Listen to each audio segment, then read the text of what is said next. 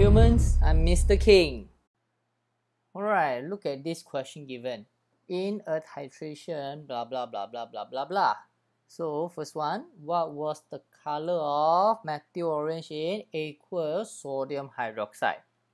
See, remember sodium hydroxide is an alkaline. So in alkaline it is yellow in color. Okay, next, calculate the numbers of moles of sodium hydroxide. So we are asked to look for the moles of sodium hydroxide. Remember, okay, first thing to do always look for the information given. So what are the information given about sodium hydroxide?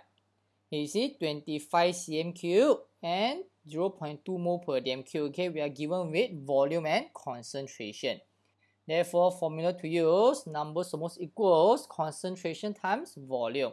So concentration 0.2, remember you see, volume given to you here is in cm cube. Therefore, you have to convert it into dm cube first. And so eventually answer 0.005 mole. Very easy. Okay, next, calculate the numbers of moles of sulfuric acid added into the burette.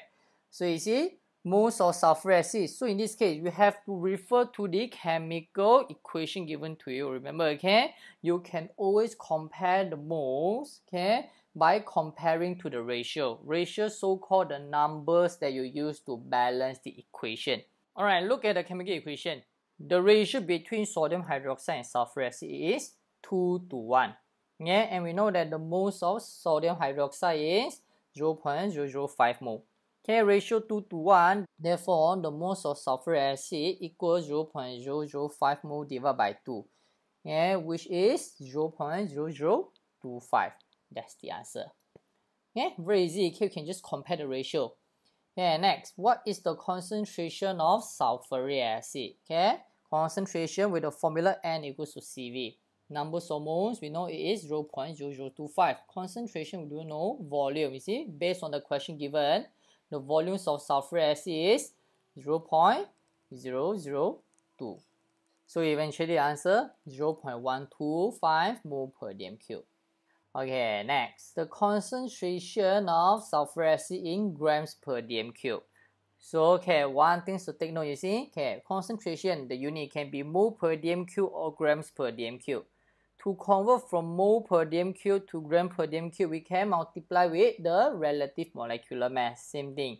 To convert grams per dm cube back to mole per dm cube, okay, it can be divided by the molar mass, okay, so-called the relative molecular mass. So in this case, okay, we wanted to get the concentration grams per dm cube, okay. Therefore, 0.125 mole per dm cube multiplied with the molar mass of sulfuric acid, as stated here. Alright, very easy. Okay, next.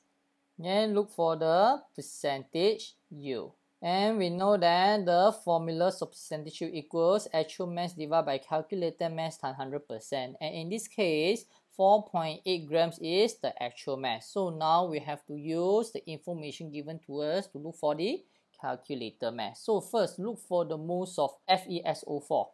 Then you get 0.1 mole. Then compare ratio 2 to 1. The moles of Fe2O3 it is 0.05 mole. Yeah, look for the mass, yeah, which is the calculator mass, and it is 8 grams. So apply into the formula. So answer 4.8 grams divided by 8 times 100%. So eventually the answer is 60%.